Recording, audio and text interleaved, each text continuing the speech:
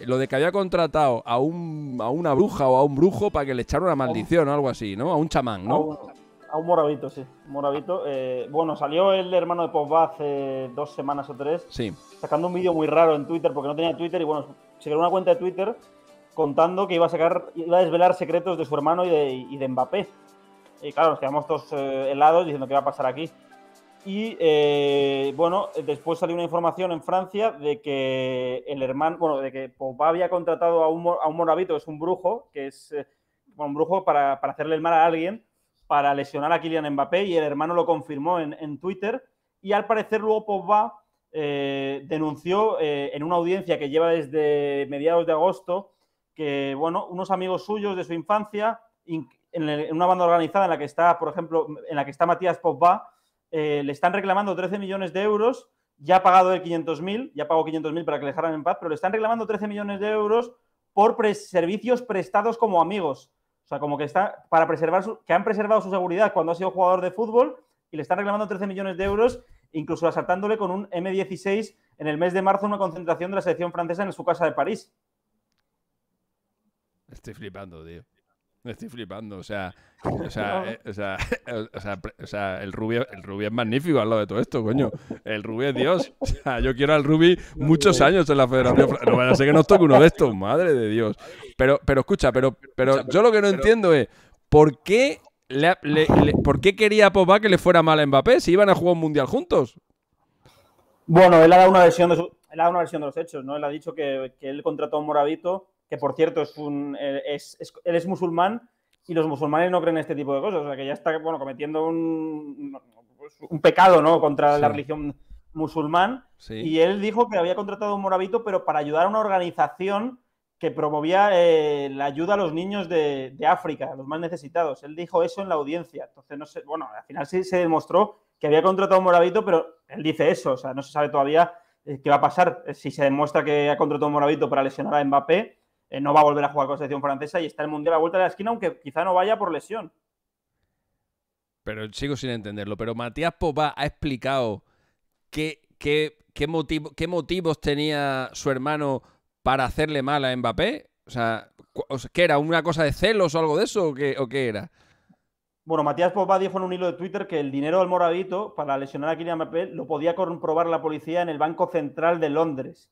O sea, podía, podía, podía comprobar la policía. No, no, pero eso, no, pero eso, Andrés, lo entiendo. Eso, eso lo entiendo.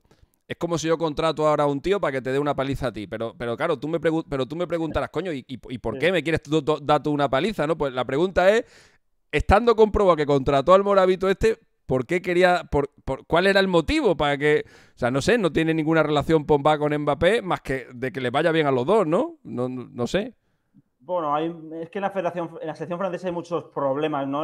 Cuando acabó la Eurocopa se formó un, una, movida en la grada eh, tras el penalti fallado de Mbappé entre la madre de Rabiot, la madre de Pogba y la madre de Mbappé. Hubo una movida ahí que, bueno, que se vio que la madre de Rabiot metió mierda a la madre de Mbappé y la de Pogba se metió entre medias, ¿no? Entonces quizá por eso, ¿no? No, lo sé. O sea, no tengo ni idea. Hay un problemón en la Federación Francesa y en la selección ahora que no sé a dónde va a llegar, porque Pogba está denunciando que le han asaltado con fusiles, que a su madre también le han amenazado, que está su hermano metido en una banda criminal que, que, le pide 13 millones de euros, pero claro, todavía está la investigación en su fase inicial. Ahora está Matías Pogba en custodia policial declarando su versión de, de, los hechos, a ver qué dice el hermano mayor de los Pogba, pero esto parece que va para largo. ¿Y cuándo ha sido esto? ¿Cuándo se supone que contrató al Moravito este? ¿En qué, en qué fecha? Pues no sé, no ha especificado nada. O sea, él dijo que. Es que no sabemos que... si ha sido después de la Eurocopa, si ha sido antes, claro. antes del Mundial, no se sabe nada, ¿no? No se sabe nada, no, no se sabe nada, están llevando la investigación. Yo, vamos, nos enteramos por lo que dicen en la prensa francesa, pero de momento el Moravito no, no han dicho en qué fecha exacta contrató sus servicios para supuestamente lesionar a, a Kylian Mbappé. ¿Y al Moravito le han localizado? ¿Saben quién es o algo? No, claro, está, le decía a Pogba que, que, estaba cantidad de dinero enviada en, y la podía comprobar en, en, en, Londres. En Londres hay una cantidad de dinero de Pogba, una transferencia que se puede corroborar según el hermano de Pogba, Matías, y eso tendrá que esclarecerlo la policía de la Fiscalía de París, que, está, que ha abierto una investigación ahora el 2 de septiembre para esclarecer los hechos eh, acontecidos. Hostia, si localizas al moravito ese, tío, hay que, hay que entrevistarle, ¿eh? Ese hombre tiene un, ese hombre tiene una historia, ¿eh?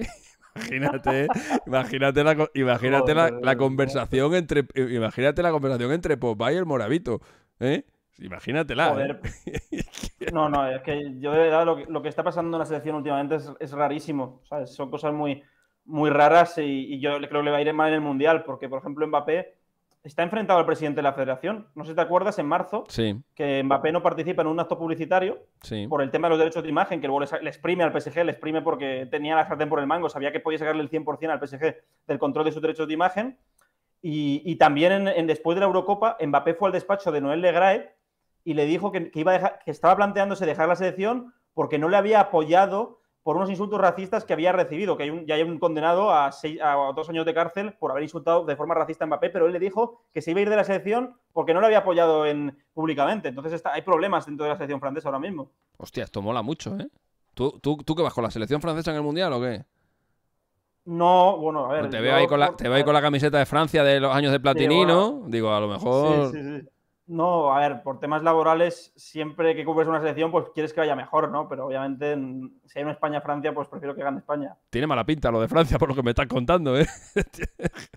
bueno, y si atendemos a los últimos campeones del mundo, desde 2006 el campeón no ha pasado de fase de grupos, si no recuerdo mal. Correcto. Claro, yo el año eh, pasado, bueno, en el último mundial, en el último mundial, cuando, cuando eliminaron a Alemania, eh, que dije, claro, le había pasado, le pasó, le pasó primero a Francia, que había ganado el Mundial en 2002 y lo echaron en 2006. Luego le pasó a Italia, campeón del mundo en 2006 y luego en 10. Luego le pasó a España, campeón del mundo en 2010 y le pasó en 2014. Luego en 2014 el campeón del mundo es Alemania y la echan en 2018. Y claro, yo cuando, cuando llegó, cuando echaron a Alemania y luego ganó el Mundial Francia, digo, la maldición se va a romper con Francia, digo, porque, porque no me joda. Es que Francia, aparte de tener un equipazo, es que son todos súper jóvenes. O sea, es que, es que probablemente ganen el siguiente Mundial otra vez. Pero hostia, por lo que me estás contando, ojo, ¿eh? Bueno, y ahora, y ahora se juega no bajar a, la Liga B de Naciones O sea, en, junio no ganó ni un partido. O sea, está mal.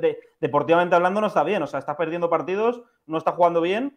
Y ahora con estos problemas internos, eh, pues ya sabemos los precedentes que has comentado. O sea, que los campeones del mundo no, no van bien en la, fase de grupos al, siguiente mundial. Sí, sí. El último, como nos dice Eder Rafael, el último que se ha escapado de esto ha sido Brasil, que ganó el mundial en Corea y pasó a la fase de grupos en Alemania. Pero los europeos van cayendo todos uno detrás de otro. Está muy bien esto, está muy bien. Oye, pues ojalá se cumpla, macho. Fran, nos quitamos un. igual te vas a quedar sin trabajo rápido en el mundial, pero nos quitamos un rival gordo, Andrés. Gracias. Nos quitamos un rival gordo, tío. Y, siempre, y siempre te puedes ir a Salobreña allí con el Rubi a montar ahí un, a montar ahí un, tema. Joder. Bueno, bueno, macho. Y, y, esto, eh, o sea, porque nos acordamos de lo que pasó con lo de Mbappé y, o sea, de Mbappé, con lo de Benzema y Balbuena, nos acordamos cómo acabó todo aquello. Esto, esto yo lo veo incluso más grave, ¿no? Todo este, toda esta movida que hay, ¿no? Y me voy más atrás, eh, no sé si te, acordás, Larios y Platini. Se acostaba Larios con la mujer de Platini y dejó de ir a la sección francesa. Entonces eh, siempre ha habido problemas internos ahí. No, no, sí, está claro, la prensa francesa dice que como, como se demuestre que ha hecho algo así, es obvio, no va a ir no va a volver a jugar con la selección. No va a volver a jugar porque, claro, si se entera de Sam de que hay un compañero de selección que, está intentando lesionar a otro, aunque sea por brujería, que no bueno, hay mucha gente que cree en la brujería, sobre todo el mundo africano, eh, pues no va a volver a jugar un partido con la selección francesa, está claro. Joder, macho. Está muy bien esto. Oye, cuando acabe el Mundial, ¿me ¿va Zidane para allá o no? Sí, yo creo que sí. Sí, ¿no? Yo creo que al final, sí, sí, bueno, rechazó al PSG porque quería entrenar a la selección francesa. De Champs siempre antes de un torneo, antes de una Eurocopa o un Mundial, ha renovado siempre y ahora no ha renovado. Entonces, damos por hecho de que si acaba el, pase lo que pasa en el Mundial, salvo que gane, que lo vemos, lo vemos muy difícil, salvo que, acabe campeón del mundo, eh, no va a seguir en la selección francesa y lo va a coger el testigo Zinedine Zidane. Joder, está muy bien, macho. Está muy bien. Zidane, pues ya, ya es lo que le falta a Zidane, ganar un mundial con Francia.